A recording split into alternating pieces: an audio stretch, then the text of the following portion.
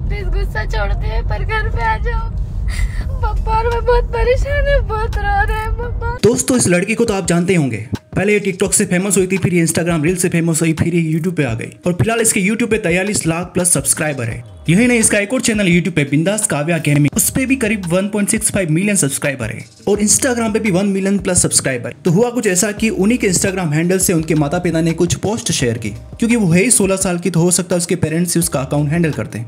उन्होंने लिखा कि काव्या गुस्से से घर के बाहर चली गई दोपहर दो बजे। अभी तक कुछ पता पता नहीं चला। औरंगाबाद प्लीज़ प्लीज़ हमारी हेल्प कीजिए। तो कल वो नाइन्थ ऑफ़ सेप्टेम्बर को दिन के दो बजे से घर से गायब है। कहीं गुस्से से बाहर चली गई है। वही एक और पोस्ट शेयर करते हुए उसके माता पिता ने कहा कि अगर आपको कहीं मिलती है तो प्लीज़ औरंगाबाद पुलिस को सूचना दीजिए। वो पेड़ेगा औरंगाबाद से मिसिंग है। वही उसकी मम्मी ने एक स्टोरी शेयर करते हुए क्या कहा, आप सुनिए। तो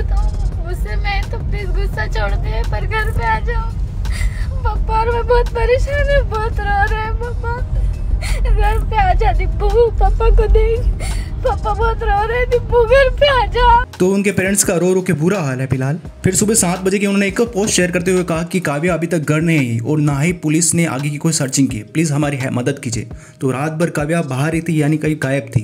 फ़िलहाल पुलिस कोशिश कर रही है उसे ढूँढने की। लेकिन उन्होंने लोगों से भी हेल्प मांगी कि अगर आपको कोई दिखे तो हमें सूचना दीजिए। या फिर औरंगाबाद पुलिस को सूचना दीजिए।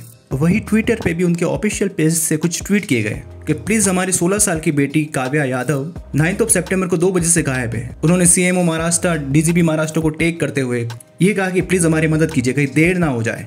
वही एक और ट्वीट करते हुए कि हमारी 16 साल की बेटी मिसिंग है। पेड़े का औरंगाबाद पुलिस प्लीज़ उसे ढूँढने में मदद कीजिए। यहाँ तक कि उन्होंने कुछ न्यूज़ चैनल को भी टेक किया है। आपको बता दें कि बिंदास काव्या व्लॉगिंग से रिलेटेड उनकी डेली लाइफ से रिलेटेड ब्लॉग्स यानी वीडियोस बनाती रहती है। वही उसे गेमिंग का भी शौक है तो उसने गेमिंग का भी एक अलग चैनल खोल रखा है। पहले वो टिकटॉक से फ़ेमस हुई, फिर इंस्टाग्राम रील से फ़ेमस हुई देन वो यूट्यूब से फ़ेमस हो गई थी। तो फ़िलहाल पुलिस उसे ढूँढने की कोशिश कर रही है, अगर जैसे ही मिलती है तो मैं कुछ अपडेट दूँगा आपको। और ये वीडियो पसंद आया तो लाइक कर देना और चैनल को सब्सक्राइब कर देना।